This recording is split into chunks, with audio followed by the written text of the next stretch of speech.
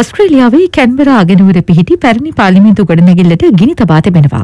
ඒ අගනුවර පැවති උද්ඝෝෂණයක් අතරතුර එම උද්ඝෝෂණයට රැස් සිටි විරෝධතාකරුවන් පිරිසක් විසින්. එරට ආදිවාසී ජන කොට්ටාසයක් විසින් එම උද්ඝෝෂණය සංවිධානය කර තිබුණා.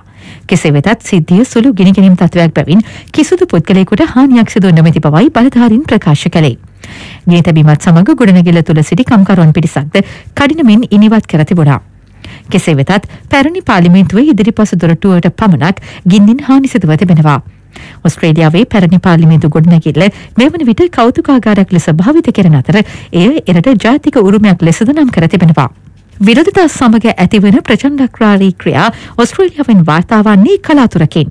කෙසේ වෙතත් කොරුණා වසංගත තත්වයෙන් අනතුරුව එරට පැවැත්වන උද්ඝෝෂණ හා විරෝධතාවලදී ඊට සහභාගි වන පිරිස් ඉතා කලාකාරී හා ප්‍රචණ්ඩ අයුරින් හැසිරීම දක්නට ලැබෙන බවයි විදෙස් මාධ්‍ය වාර්තාවල දැක්වෙන්නේ.